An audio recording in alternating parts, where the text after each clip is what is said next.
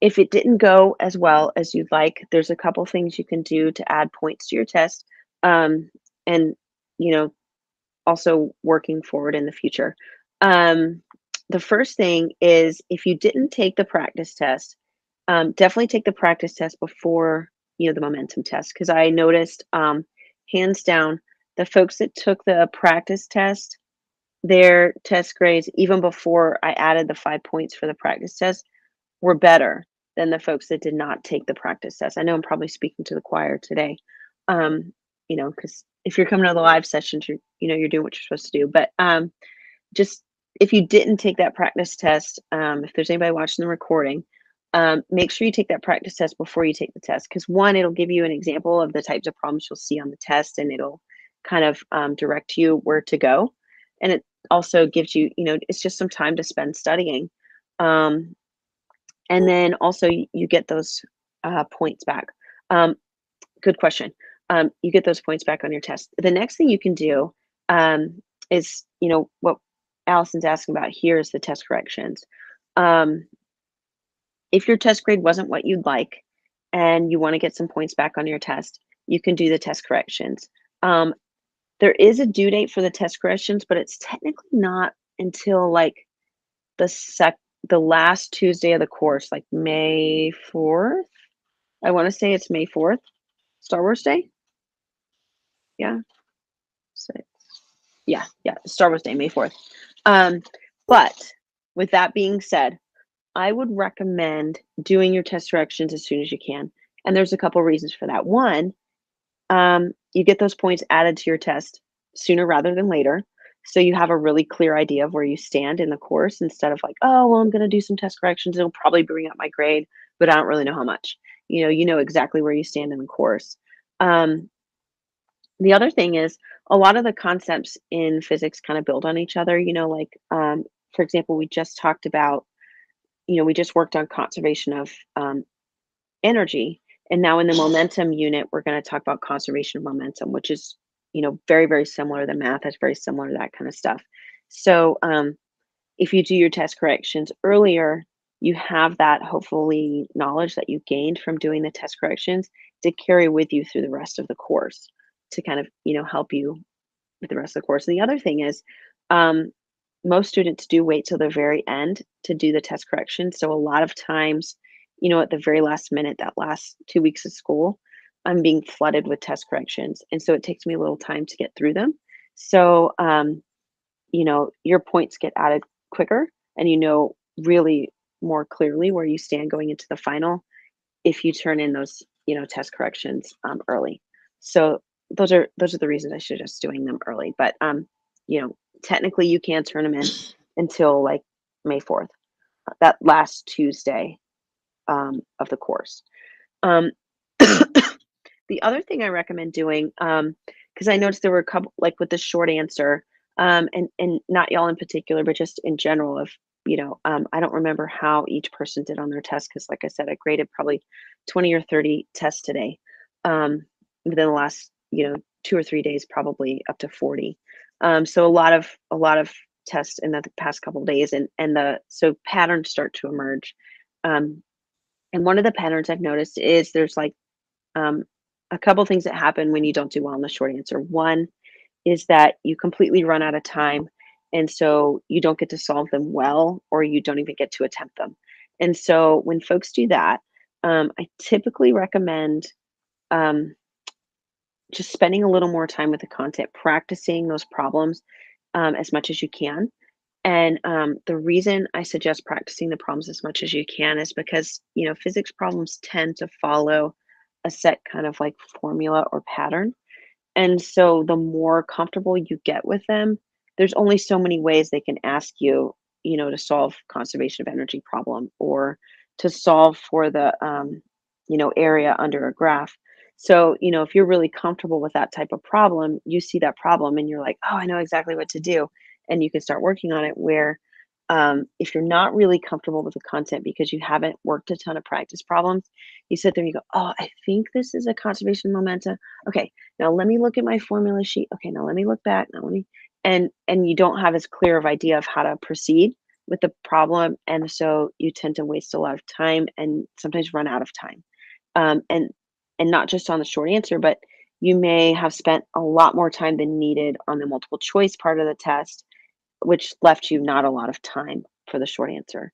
Um, the other thing that I see on the short answer is folks that turn in their test, you know, 20 or 30 minutes before the timer runs out and they've just not even bothered to answer the short answer because they don't know how to do it.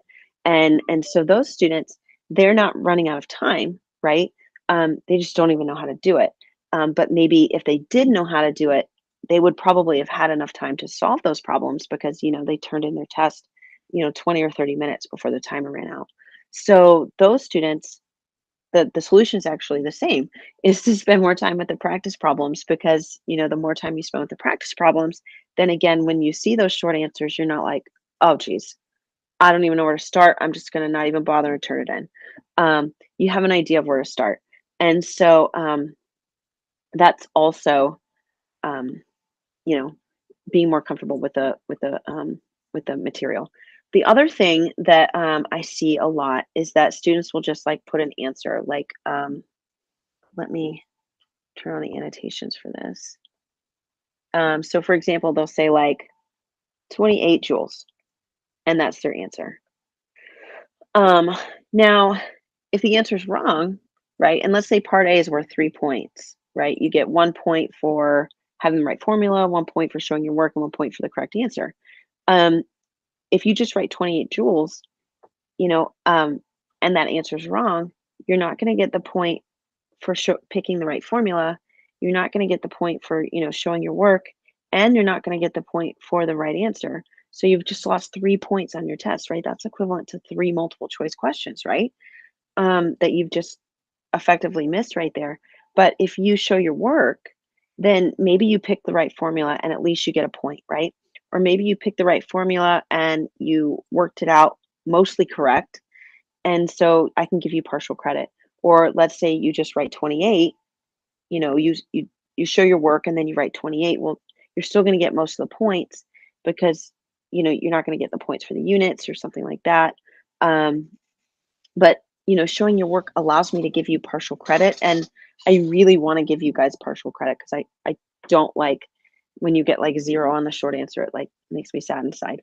Um, so I will do my best to find ways like, oh, this is almost the correct formula, and I'll give you, you know, like half of a point, or this is sort of ish the correct work, and I'll give you like half a point. But if you don't show your work at all, there's there's no way that I can justify giving you partial credit. Um, so it's really really important that you guys show your work as well on the um, short answer because you know, I hate when you guys just put like, um, you know, like one answer. If say there's like three parts and there's like, you know, then you put like five meters per second and then maybe like two watts or something like that. I don't know. I'm just making stuff up. Um, and you know, if all those answers are incorrect, I can't give you any partial credit because you know all I have is an incorrect answer.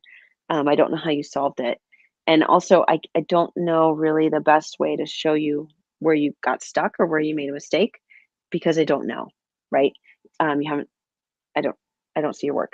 So anyway, um, I know I just spent like, I just spent like 10 minutes, um, not even working out any problems and just telling you guys, um, about the test. But, um, I, I really, like I said, I spent a lot of time the past couple days looking at those tests and I just want to give you guys some suggestions on ways that you can improve your test grades. Um, so in the future, we can, you know, work on the practice problems. That way we have time to do the short answer, or we actually know even how to attempt the short answer. And we're also going to show our work. That way, I can give you partial credit um, as, as much as I can. And then um, the other thing we're going to do is we're going to do the practice test so we get those um, points back. And we're also going to do test corrections so we can get those points back. So we can get, you know, those um, extra points on our test. So those are um, my best strategies that I would suggest for doing well on the test. So now let's get to momentum. Um, momentum is is very similar to energy, and it's also kind of a weirdish um, thing. Um, and the weirdest part to me is impulse, which we'll get to in a second. And I know you guys talked about that in your discussion a little bit. So uh, momentum is this weird P Um, and it's not really a P. It's, you know, in the textbook or something, it, it kind of, it looks like this. Um, but it's basically P. And I have no idea why they chose P for momentum. I mean, I guess M was already taken, but um, but it's P equals mass times velocity. So the larger your mass, the more momentum you're going to have. The larger velocity, the more momentum you're going to have. So, you know, if we think about like uh, an 18 wheeler and a sports car, right? The 18 wheeler is going to have a lot of momentum because it has a really large mass, which means that's why it's difficult for them to slow down. You know, you don't want to um, you don't want to stop short in front of an 18 wheeler um, because they may not be able to stop, you know, um, in enough time to not hit your car. And then if you think about a sports car, they may have a low mass, but they may go very, very fast, right? So if you think like a, you know, a NASCAR, those cars are going really, really fast, even though their mass is low. So they could also have a really large momentum because, you know, their velocity is really high. Um, and so those are, that's um, kind of how momentum works. So then we have the impulse momentum theorem.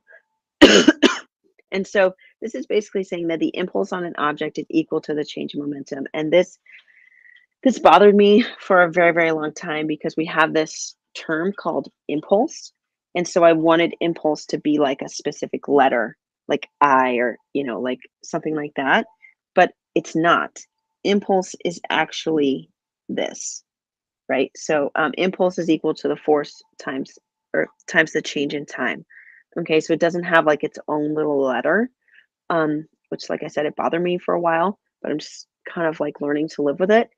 Um, and so that's your impulse. And so the way to that you can change your impulse is you can um, you can increase or decrease your force or increase or decrease your time. So if you think about like an airbag, an airbag, um, you know, it it your steering wheel has a pretty small surface area, um, especially that center of the steering wheel, right? It's, it's pretty small. Um, if you think about like, you know, your steering wheel is probably something like this, right? You know, that very center part is kind of small. Um, and so if you were to it be in an accident and hit that center of the steering wheel on your chest, right? That's a very small area. And um, it's a very large you know, all that force is coming in that tiny, tiny area. So what the airbag does is it um, it in, it increases the force. It makes it over a larger area, and also an airbag is kind of right is full of air. It's like a cushion, and so it you're not hitting that hard steering wheel on your chest anymore. You're hitting this like large cushion, so it's spreading the force out over a larger area, and it's also also kind of like increasing that time because you know the time before you hit something hard like your dashboard or the rest of your steering wheel is going to be reduced because your body's going to have to go through that like air filled bag to get to that steering wheel um, so that's kind of how that works um, and we're going to do a problem in a second where we're going to talk about um, you know someone gently applying the brakes versus someone um, you know hitting a concrete wall just you know just hitting it full speed um, and it's it's very very different. So so um, in order to be safer in a car accident, you either want to increase that time or decrease the force. Okay, and that will change your impulse. So um, you may have seen some of my comments on the discussion where I was asking, you know, is is your airbag increasing the force or decreasing the time, or you know those um, those collision detection software, you know, that like press the brakes for you.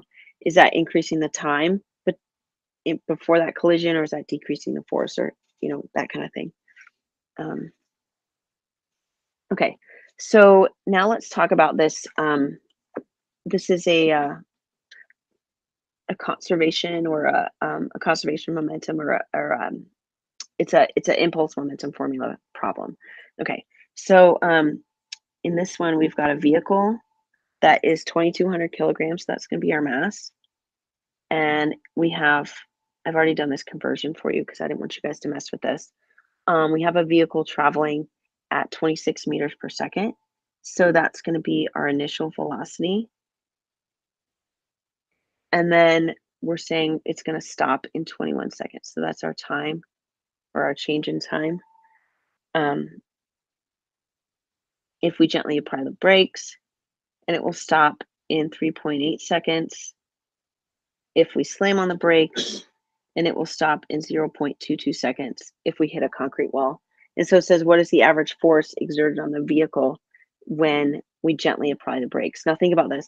You can already see, right, the time gently applying versus slamming on the brakes. That's going to decrease the force quite a bit, or the impulse quite a bit, because we're decreasing the time. And then look at this gently applying the brakes is 21 seconds versus 0.21 seconds, right? That's a huge difference and a huge difference in force. Um, and so that's going to affect, you know, how much force you have. So um, we're going to, in this one, we want gently applying the brakes. Okay, so our mass is 2,200 kilograms and our initial velocity is 26 meters per second and our time is 21 seconds. Now there's something also that they haven't told um, we need a final velocity, right? And but they didn't give us a number for that, but they did say stopped. And so that's kind of a tricky one because stop means a velocity of zero meters per second. So sometimes that trips folks up because you know it's, it's they haven't put a number in there. They don't say goes to a velocity of zero. They just say stop. Um, and so then we have our um, impulse momentum formula, um, which is our final momentum minus our initial, which is um,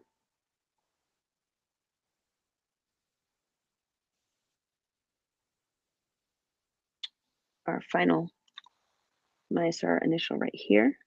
And then I'm going to go ahead and put my numbers in.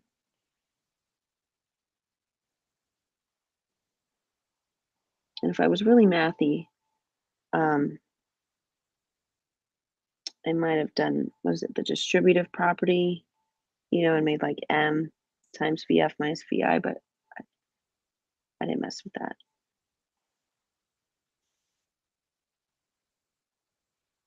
Okay, so this one's going to cross out completely. So then we're going to get our force of 21 is equal to 57 200 newtons and divide that by 21. And our force is going to be, well, it's not really newtons yet. This is going to be a negative.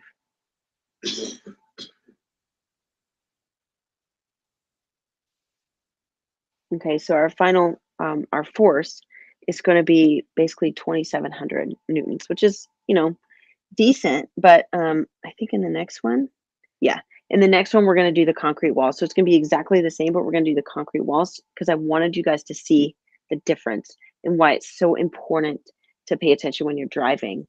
Um, because, um, you know, if you hit that concrete wall, we had a, a friend.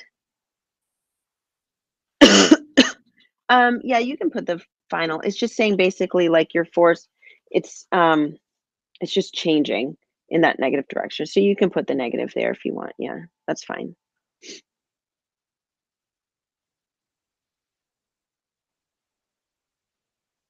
But usually we just say like 2700.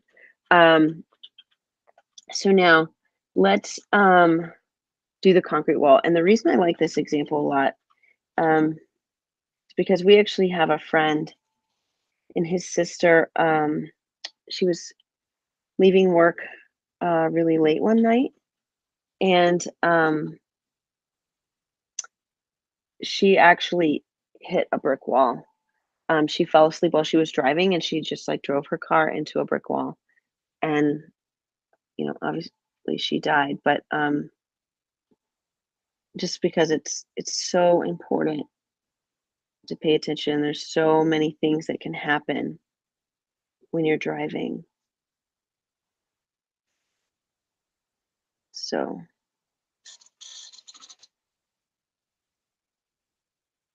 um, this one again, it's going to be basically exactly the same. You know, all the numbers will be the same.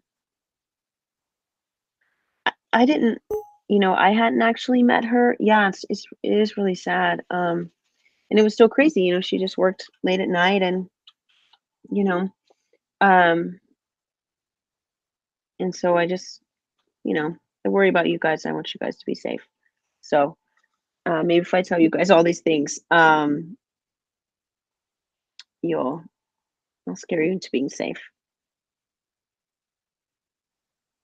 I used to make my um, face-to-face kids watch car crash videos um, the day before Christmas break.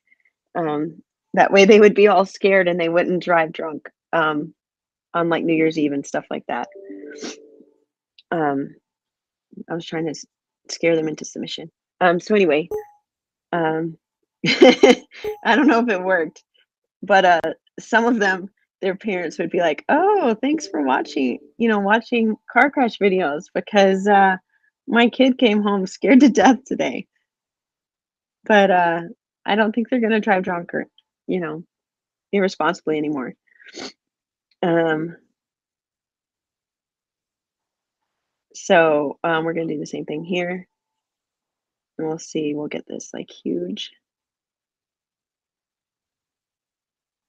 Right, and if you remember the other one, it was like what, 27, 23? So we're going from gently applying the brakes, we're going from 27, 23 newtons to 260,000 newtons, right? That's a huge difference in force. So you can see why that would, um, you know, what, what do they say? Um, we had a vet once that would say that's incompatible with life. Um, and so, you know, you can see that that's, that's a really huge force.